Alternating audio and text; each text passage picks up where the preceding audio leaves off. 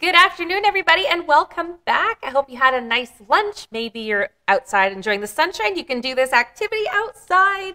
Uh, it's a beautiful day there, so um, perfect day to do some arts and crafts, maybe in your backyard, balcony, wherever is safe to do so. So I'm going to be showing you how to make our little T-Rex dinosaur finger puppet.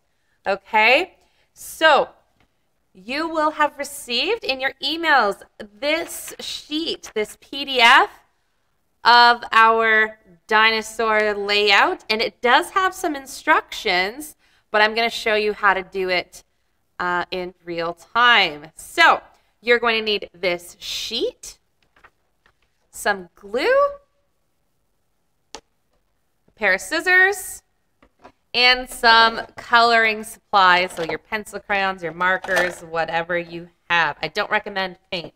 Might get a little too wet and crinkly for you. So what you're going to do is we've got this puppet like I showed you and he's got a little opening in the back for your fingers to go in. So your fingers, just these pinchies, like if you're going to pinch somebody, don't pinch somebody, and you can fit them in there and you have your little T-Rex finger puppet. So what we're going to do is color first. Now, I'm going to have you guys color. Maybe you can color in your own time, but I do recommend coloring beforehand. So if you look here, if you want to zoom in, I will show you what I kind of mean. So I did color one beforehand to kind of save some time because you guys don't want to watch me color all day. So you'll see I just, you can go outside the lines a little bit, which is fine because you're going to be cutting anyway. And you'll see here there's a difference. I've got my finger puppet here. You can still see the white around the teeth, okay? I wanted to try something different with this one and I colored it black, but I used marker that I can still see my folding lines through. You don't want to lose any of that so you can still see what you're doing. So this looks a little bit like a map right now, actually, but we're going to turn it into a cool little T-Rex. So you can pause this if you need to, just to color, um, but uh, let's get started with the cutting. So you're going to color that first. I'll set that one aside. And we're going to cut along the solid lines. So you'll see that there are some dotted lines we're just going to cut along the solid. So let's get started there. Now I'm going to give, I like giving my T-Rex those little grooves. You can cut a smooth kind of bubble around if you like. So then you get this little outline if you want. It's up to you.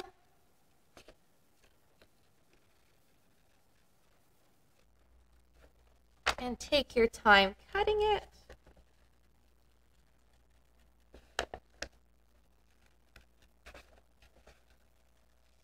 And you'll see here, so I don't want to cut straight across here.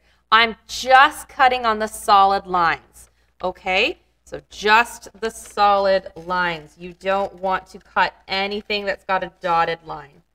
So I'm just going to cut that off so that it's like this, okay? Keeping this middle part, this black part here that I have intact.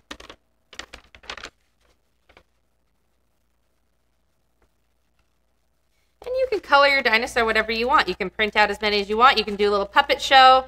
You can make a game out of it. You can play with your sibling or friend or parent, guardian, whatever. Make little a dino game out of it or see whose thumb war, you know, kind of do a thumb war, whose dinosaur is the strongest. And again, I don't want to cut straight through. I just want to cut around that dotted line.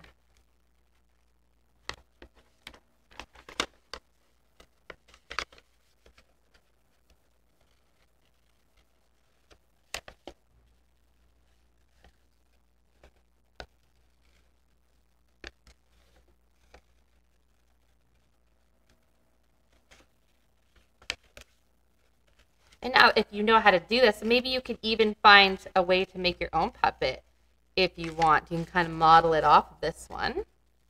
And you can make, if maybe the T-Rex isn't your favorite dinosaur, you can figure out maybe how to do, you know, a Stegosaurus or a, um, doesn't even have to be a dinosaur. You can draw your own. So then you'll have something that looks like this. Now, you don't have to color in that part black. I just wanted to, like I said, because then I can see the teeth a little bit better. All right, so now I'm going to lay it flat, having the dinosaur's face sticking up. So I don't know if you can see, but you can see his eyes. This is his top part of his head. So I can see his eye here and down here, and then this is his bottom jaw. So I'm going to put it in front of me with his head facing up, like that part of the head facing up. Okay? And now I'm going to take my glue. Glue sticks are the best. You can use white school glue if you want. It'll just take a little bit to dry and you might have to hold it. So I've got this purple glue that should show up really easy for you on camera. So I'm just going to glue along here. So in it, there's a little picture for you in the PDF as well. So I'm going to glue along the side of his head. Just on the tip, because you don't, you, we need to have a space to put in our, um, our, uh, our fingers. So this is where the folding comes in. So you'll see, now, I, like I said, I, I can still see the folds. So I want to fold along those dotted lines. I can fold, okay?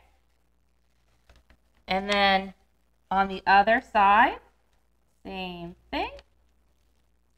And now that part that I glued can reach the other side nice and snug so that you have something that looks like this.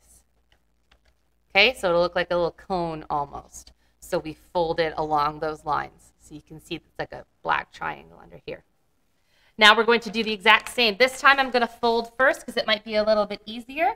So fold along those dotted lines. I'm going to do that on the other side. And then we're going to glue again, just on an outline, okay? Just on the edge. I don't want to glue along here because that's going to not give me anywhere to put my fingers. So going to glue along the edge again.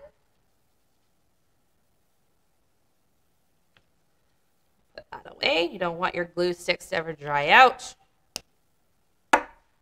And then fold that up.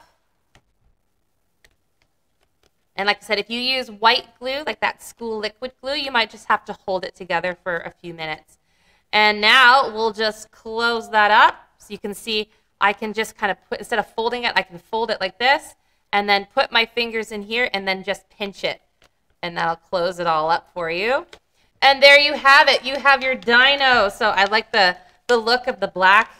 Oh, you can see his teeth a little bit better. But you can kind of have this little interaction here. Maybe you can make music out of it. You can make as many as you like. And there you have it. There is how to make your own little Dino Puppet. Like I said, the instructions are there along the side if you need them, or you can watch this video and pause as you go along. So that's it for our simple dino craft. I hope you enjoyed it. Don't forget to join us tomorrow uh, with uh, Richard Burrows. For, uh, he's going to do a sound activity. He's a percussionist with open ears. So you can check out our website for more details on that. Don't forget also that all through spring break next week, we have special guests at 11, and you can check out our calendar on our website for all of those links. Thank you so much, and have an awesome day, and stay safe.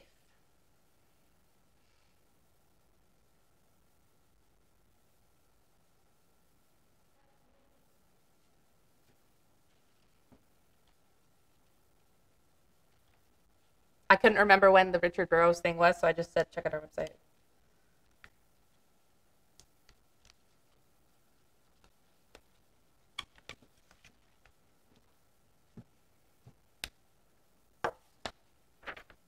All done?